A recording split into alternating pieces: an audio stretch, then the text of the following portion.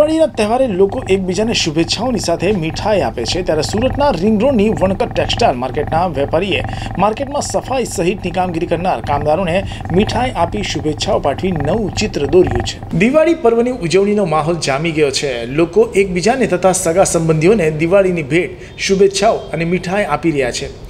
તો માર્કેટોમાં વેપારીઓ એકબીજાને મીઠાઈ અને શુભેચ્છાઓ આપે છે.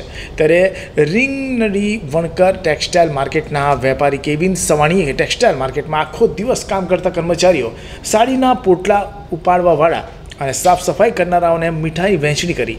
તેમને અને તેમના પરિવારોને દિવાળીની શુભેચ્છા પાઠવી હતી. આમ કાપડ વેપારી કેવિનભાઈએ લોકોના ચહેરા પર સ્મિત લાવી દિવાળીની શુભેચ્છાઓ પાઠવી હતી.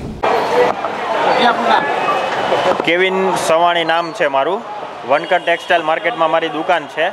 અને આ વર્ષે અમે એવું નક્કી કર્યું કે જનરલી વેપારીઓને તો અમે મીઠાઈ આપતા જ હોઈએ છીએ, પણ અહીંયા જે આજુબાજુમાં મજૂરી કામ કરતા હોય, પોટલા ઉચકતા હોય, એ લોકોને બી અમે મીઠાઈ આપીએ. અને જે સફાઈ કર્મચારીઓ છે ને, આખો જે વીટીએમનો સ્ટાફ છે, જે લોકો આખો દિવસ મહેનત મજદૂરી કરીને માર્કેટ ચલાવે છે, એ લોકોને બી આપણે આ વખતે પાંચસો બોક્સ વેચ્યા છે.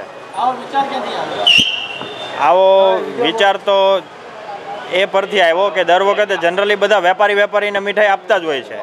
પણ જે આ કામ કરતા હોય છે માર્કેટમાં, મહેનત મજદૂરી કરીને કમાતા હોય છે, એ લોકોને બી આપણે દિવાળી પર મીઠાઈ આપીએ તો એ લોકોને બી સારું લાગે.